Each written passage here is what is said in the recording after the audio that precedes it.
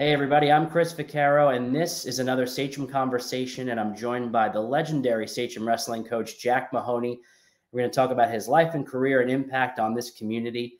As I've said before, the purpose of this project is to have an oral history from the people who lived it and made the history here uh, for the sake of the educational and co-curricular advancement of thousands of kids uh, who have experienced what Sachem is. And I'm excited to talk to Coach about his life, career, and impact. And thanks for coming on today. Hey, thanks for having me. This is great. So I always like to start in the beginning. I like to go back to um, you know when you were a kid and where you grew up, and you know everybody obviously thinks of you as a Sachem guy, and maybe many people think of you as a Lindenhurst guy because that's where you went to school and where you wrestled. But even before that, you know, you lived in New York City, and I only learned that a couple months ago from you. But talk about the initial phase of your life and the impact that had on you? Well, I was born in Manhattan. Um, then, probably I was only about a year or so old, and we moved to a, uh, what's called the projects along the East River in Astoria. Um, we lived there until I was in sixth grade. I went to Catholic school in Astoria. Then we moved out to Lindenhurst. Um, I finished up at OLPH in Lindenhurst. So I was still going to Catholic school. So still no phys ed classes, no, no, well, we had community sports, Little League football and stuff, but um, didn't really get into physical education classes and, and organized sports and, and school things until I was a ninth grader at Lindenhurst. What about wrestling? Was that something that, that started in the city or Lindenhurst? When did that start to take shape in your life? When when we lived in Astoria, they opened up the Boys Club of Queens. And we went there for swimming, things like that, recreation. Somebody was trying to start a wrestling thing, it didn't catch on. So I knew the sport existed, but that was it. When I went to Lindenhurst, probably like most kids, uh, you follow your friends. And I guess I had uh, my closest friends were going out for the wrestling team. I had no idea what it entailed. I didn't know anything about it. I didn't know there were weight classes. I didn't know. I, I, I think the first wrestling match I ever saw was the first meet that my team went to. Um, so it was right, you know, started from scratch, knew nothing, and built it from there. And was it was it an instant love? Is it something that over the throughout the process of going through wrestling that you fell in love with it? Talk about you know what struck you about it, and was that something you could see doing for the rest of your life? Well, it was a sport that every day uh, presented another challenge. I actually uh, was a, a, real little chubby kid, and um, uh, obviously was wrestling kids that were much bigger than me if they didn't have all the body fat on them that I did. Uh, wasn't real successful, but that drove me to want to work at it more, and uh, just worked harder and and tried to do the best I could. My my high school career um, wasn't very good. Um, and then, you know, but I didn't give it up and I went on and continued it at SUNY Brockport, you know, so uh, it's just, a, you know, it's just something about wrestling. It gets in your blood. Were you uh, were you positively impacted by high school coaches? Did you see? Obviously, you went into physical education, and you know the the whole world of staying in scholastic coaching and education and athletics. The the whole world was was you know uh, at your fingertips based on something that you experienced at Lindenhurst and then of course at Brockport who who pushed you in that direction who were your mentors who inspired you to go into coaching and teaching um, I don't know if anybody in particular uh, did but um, you know just you know watching the whole atmosphere of what it was like at Lindenhurst High School and what it was like to be a phys ed teacher and uh, and a coach and um, you know them working with kids in general, not not especially me, but just everybody. I, I was like, you know, that's something I think I want to do. And um, uh, even honestly, when I started at SUNY Brockport, I didn't start in the phys as a full phys ed major. I actually started as a math major, and then they um, the state decided to split the health phys ed major, and you could take one or the other. Uh, so I, I picked up the phys ed major. So I graduated Brockport with phys ed and math. And talk about Brockport. You know, what was the wrestling experience like there? How were your coaches? Did you improve a bit from your ability at Lindenhurst? Oh yeah, yeah, def- definitely improved. Um, and I, I actually, um, the way my birthday fell, and I don't know, you know, what age they started yet at school in the city, um, but I, I was actually um, a junior in college, and I was still high school eligibility age. So you know, like where some parents hold their kids back, um, I was, you know, um, I guess kind of pushed ahead. But I had uh, actually had a different coach at Brockport every year. It was one of those sports where they kind of like great gave it to grad assistants, and um, uh, but they were all great coaches, and they insp- inspired you to uh, keep you know keep working to get better. And, and you know the the I you know ended up being I guess an average wrestler. You know placed in the SUNY conferences, stuff like that, but um, you know, the, the, but my feeling is if you're not that, you know, if you're not really that naturally talented, you have to work harder at it. You have to really study the sport. And you have to learn all the ins and outs. And um, and I think that's what you know gradually led me to be a better coach because I felt like I knew more about what was happening because I tried to learn more about what was happening to make up for the God given talent that I didn't really have. And so you graduate college, it's time to get a job. Obviously, you know you want to be a coach. Where does Sachem come in? How did you land here? And what was your impression of Sachem pre working here? Uh, you know, was it something that was taking shape and taking form at that point? Well, I didn't have an impression of Sachem because I didn't even know where it was. Sachem, as you've heard from you know other coaches, was a, a, a new community. So in the, my senior year of college was the 69-70 uh, school year. Sachem actually sent recruits out to the state universities. If you were ambitious enough, you would go down um, and there, you'd meet with recruiters. They talk to you about the school district. They take your paperwork. Then I was invited to an interview. I went to what I didn't know was Seneca Middle School at the time, but it was in the Chippewa building. I met with Pete Creedon. Uh, he sent me to district office where I met with Don Fenner. He was in charge of personnel at the time. And I actually had not even student taught yet. And Sachem sent me a contract and invited me to be a teacher there the next year. And, um, and that was the start of it. I signed the contract, sent it in, and everybody's like, Where's Sachem? I'm like, I don't know. I drove out on the expressway until the expressway ended. And then I got off, made a few turns, and there I was. Wow yeah, just the uh, trying to load up on staff with what I guess they they figured out the right people. It all worked out in almost oh, every angle, right? It, it, was incredible. I always say that. Like, it, like did Dave Rothenberg have a crystal ball? I mean, the coaching staff that he well, he hired, and of course, it started with Don Woolley, who was there uh, ahead of all of us. Um, but he just, you know, he picked up, you know, all of these really great young guys, and um, you know, and honestly, you know, I've said it a million times to anybody that'll listen. We followed the leadership of Fred Fazaro.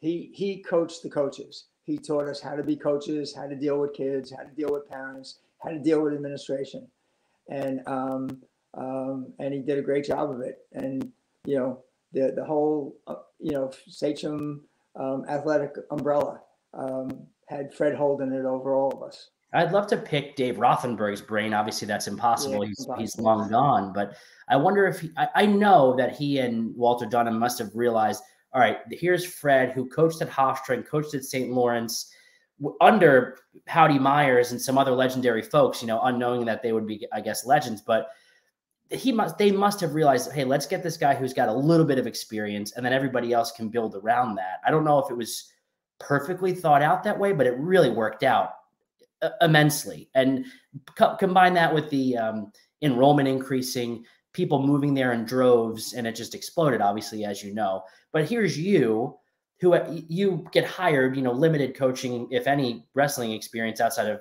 uh, being an athlete yourself. You get a team. Sachem Wrestling had existed. It was just a team, but you quickly built a program so, are you looking at what Fred is doing as he's quickly building football, or what Frank Schmidt is doing as he's building soccer? Like, where are you able to put the pieces together to say, I'm going to be here for the long haul. I'm going to make this something. And how quickly did that happen? Well, it, it took a while. Like say, our wrestling team, we didn't win a League One match until um, I think it was the last match of my third year of coaching. So um, we we we suffered a lot of losses, um, but you know we built on it. The the early teams didn't even have a lot of a lot of wrestlers on the team, and um, but we just um, I guess kids caught on. They they thought they saw a program that they liked, uh, and again we took the any advice that we could get and uh, just try to make it better and better. And the other real good thing about Sachem is that everybody shared their athletes. Like Fred saw a lot of merit in uh, his football players being wrestlers. And I think you already know that he was um, the freshman wrestling coach at, at Hofstra when he was there also. And, um, uh, you know, it, it just built and it got stronger and stronger. And then with the cooperation of Dave Rothenberg, the, the middle school programs got uh, stronger. Um, you know, Dave hired some people that we recommended, and um, you know, Tim Cummins, um, Joe Remkus, you know, guys like that, and it just um, the Northern brothers. It, it, got stronger and stronger, and and you know, it it grew to uh, you know what you you know saw, you know, in the final um, the final result. You know, we we had a, a a good kid wrestling program too. That when we first got there, we had nothing. Then um, one of the middle school phys teachers and coaches, Carl Cabasa, he, along with Marge and Bob Davis, Rick Petraka, Bill Stark Sr., they started first the Brookhaven Wrestling Club. They based it out of Sachem. Then they changed the name of it to the Sachem Star Wrestling Club, and and that was it. They they'd come in at night and start um, teaching kid younger kids how to wrestle, and then they would get they were better when they would got to middle school and um, and all those kids played other sports too. They were all soccer players, you know, youth football players. Um, it was just a really good blend, and it it just kind of you know grew to get bigger and stronger. Was there a certain time period where you felt things were turning, where you know you're you're winning more and more dual meets, you're starting to place kids in the counties, you're winning state titles with kids?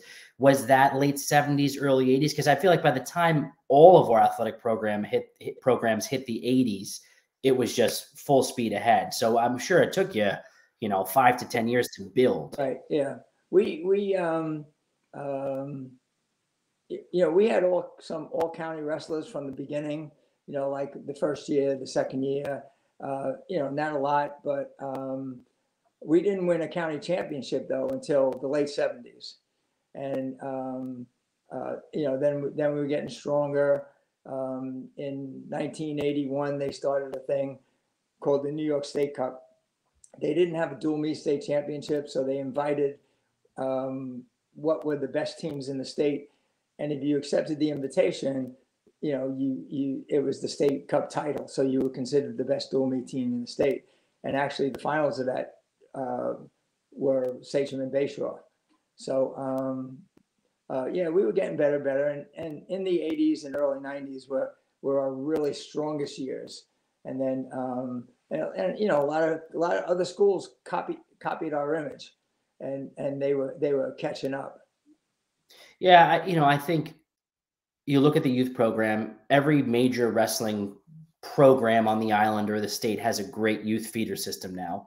They all have built into using their successful alumni to come back to coach they have the summer camps and clinics. Uh, and so I, I, I love the fact that we were the power. Sachem was the power that a lot of people used to model themselves after. And obviously, that's a coup to and a credit to you and your assistants over the years. Has wrestling changed at all from a tactical or a clinical perspective, or is it just a matter of how you build around a program is how you have success, or is it you know is it completely different from when you started in the early seventies? Well, things are a little different now because um, just like uh, a lot of the other youth sports, now there there are more private clubs. There's more private tutoring. Um, it's definitely more expensive.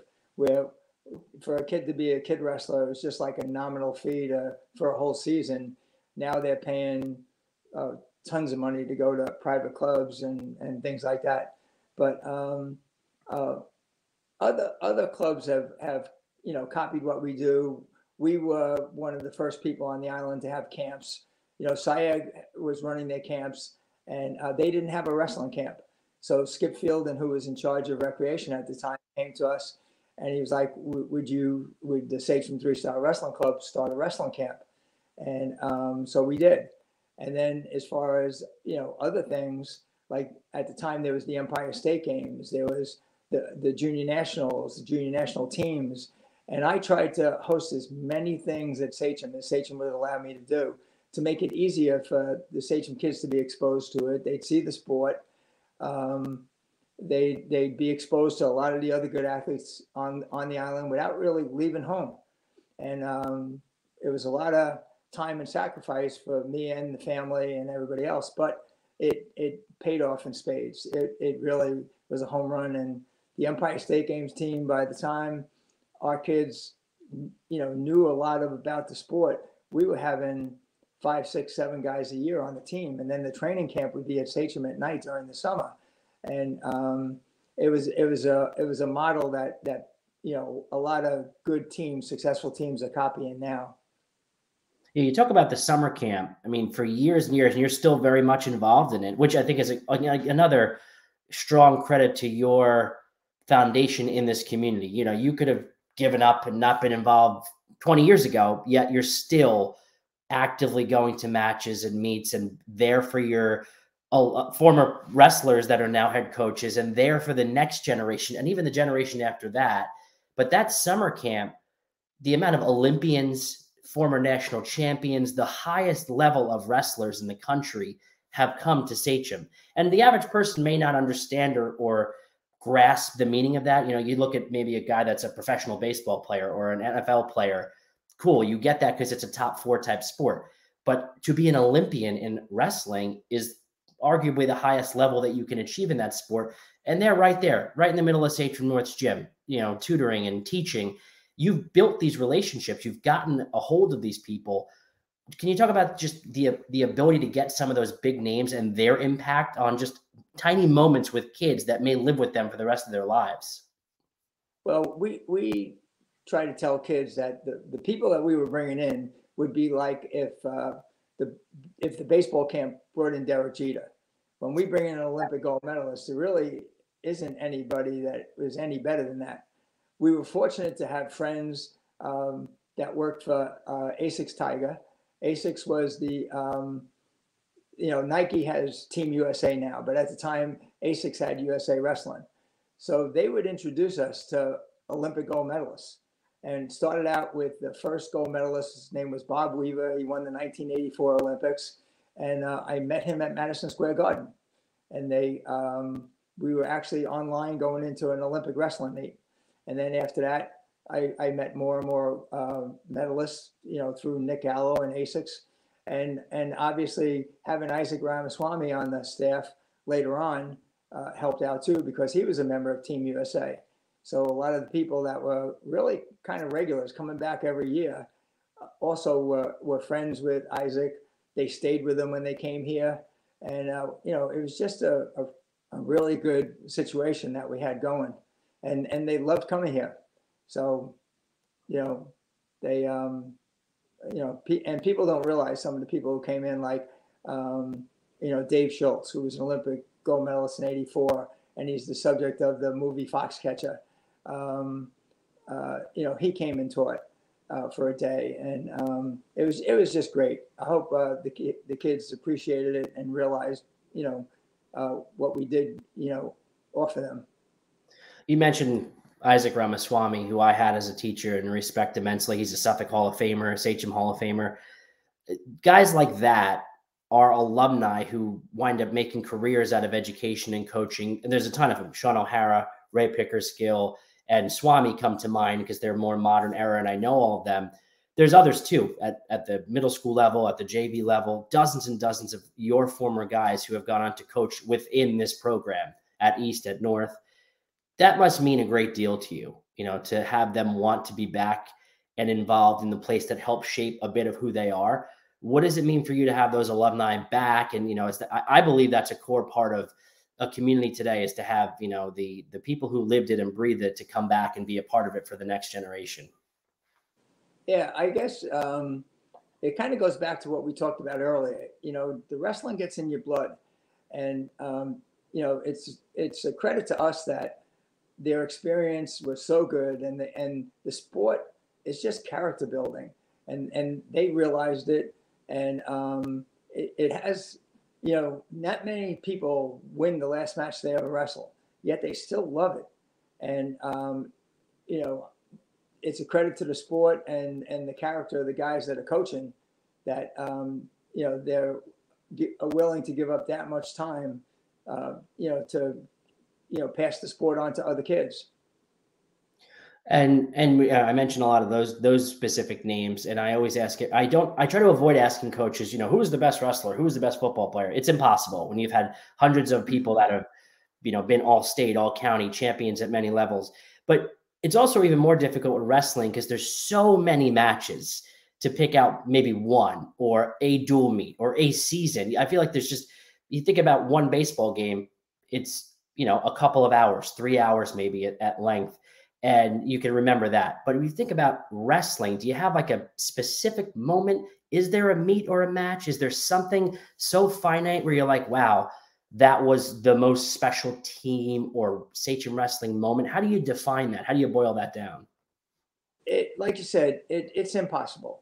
People are always asking, who is the best wrestler you ever had? And we had a number of state champs. We had um, uh, three Olympians. Uh, you know, and the list list goes on. You know, um, Division One NCAA All Americans, Division Three NCAA All Americans, and people are like, who is the best? And then same thing. What was what was your most exciting dual meet? What was what was the most exciting match? And it's it's impossible. You start thinking about them, and um, sometimes I go on YouTube. It's amazing what's on that, and I'll I'll punch in like 1992 New York State High School Finals, and I'd see John Carvalero, I'd see Jason Kraft, uh, whose finals match was incredible, and he beat a guy that went on to be an NCAA champ.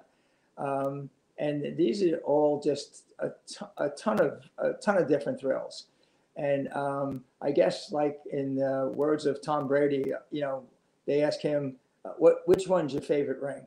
And it would be the next one. And that's the way we were in wrestling. It was like business as usual. This was great. What a thrill! You know, what's most important county championship? The next one. And and it was a good attitude to have.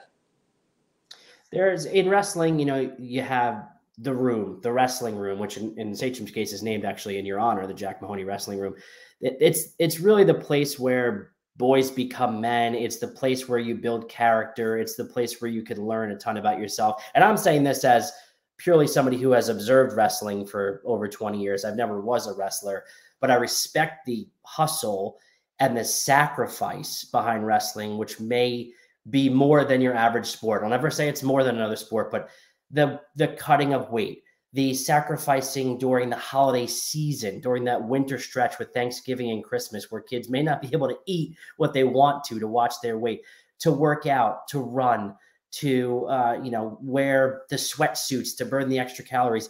It is just another level of dedication that it, it's a mindset. And I'm sure there are some kids that you've had where they're all in. I'm sure there's a percentage of kids where you've had to cultivate the mindset to make them get all in and make them believe in it.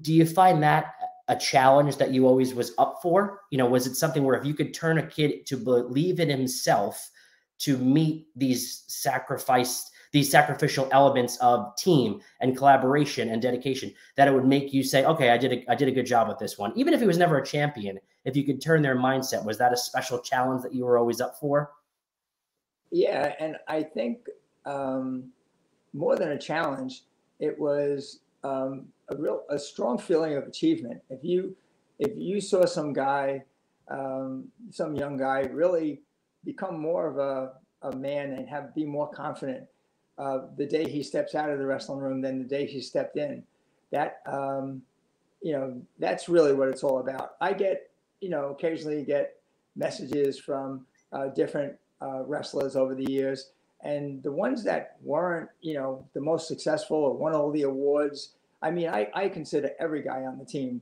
successful.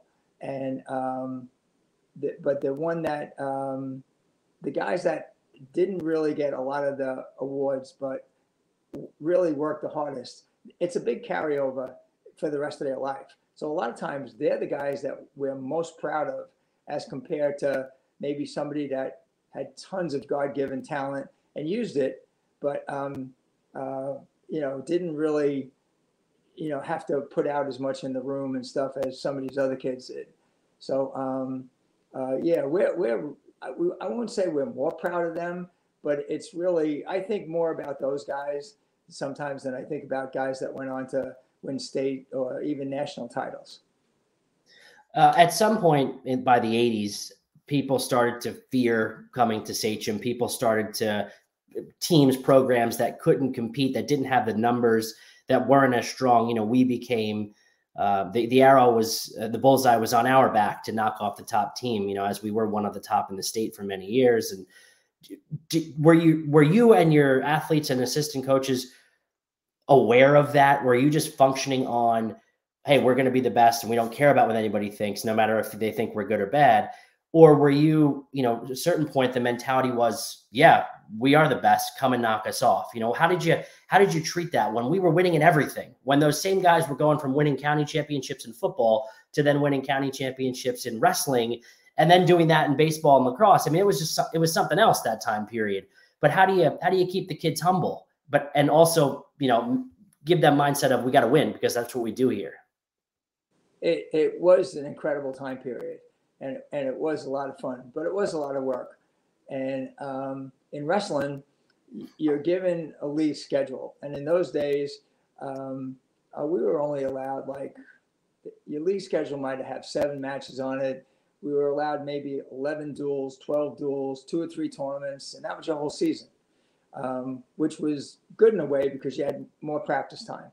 But um, once we went look, we'd want to go looking for non-league matches, we'd have a hard time finding them. So we'd be going upstate to Suffern New York and wrestling, you know, um, Suffern Monroe, Woodbury, Fulton would come down. Um, you know, we'd have to hunt around to get first people that would agree to wrestle us, but we would always look for the toughest competition. We weren't uh, looking to go undefeated. We were just looking to wrestle the best people. Um, and, and uh, you know, it, it paid off. Then by the end of the year, our kids were more ready for the big tournaments. Uh, how how about the your legacy? How would you like to be remembered when people talk about Jack Mahoney and Sachem Wrestling, or when they walk in that Jack Mahoney wrestling room? You know what what is the impression that you want people to um, verbalize and think about you as a coach, a man, an educator? Um, well, I had given this some t- thought and talked about it. Me and Isaac talk about this a lot, but basically, Sachem Wrestling has been very successful. But people have to keep in mind that I did not ever score one takedown, one near fall, one pin. It, it was all the wrestlers. And behind the wrestlers were their parents. And behind the parents and everybody else were the middle school coaches and my assistant coaches. So my legacy is not really with me, but it's all the people that were around me that bought in on something that I was passionate about, and they really made it happen. Uh, without them, Sachem, we wouldn't be having this discussion right now. So it's it's not about me. It's you know, I mean, it's nice that the community thought enough to name the wrestling room after me, but that's why it says alumni wrestling room because all the other people that went into it that should really be getting the credit. So every award that I get, there should be thousands of people standing up there when they hand us the plaque because it's theirs more than mine. National Wrestling Hall of Famer Suffolk Hall of Famer, Sachem Hall of Famer, Lindenhurst Hall of Famer, one of the best to ever do it. And you did impact the lives of thousands of student athletes and beyond, even in your physical education world as well. So thanks on behalf of this entire community for everything you've done. I, you, you, reminded me before this. You, the first time we spoke was when I was in high school in an interview, which I, I thousands of interviews later I actually forgot, but now I can remember sitting in that room where Isaac Ramaswamy was that my teacher at that time. So for 20 years, I've been talking to you about your legacy and the things that you've done for this community. But I agree, it's about the program, it's about the people that you've touched and the lives that you've impacted. And for that, we're all grateful. And I appreciate this conversation, Coach. Well, I appreciate you uh, inviting me in today. This was this was a lot of fun, and um, you know, it's um, you got quite a long long line of great coaches to interview. Yeah, one at a time. We're getting the stories, we're documenting the history, and that's the whole purpose. And I'm excited about it. So, thank you. Oh, thank you.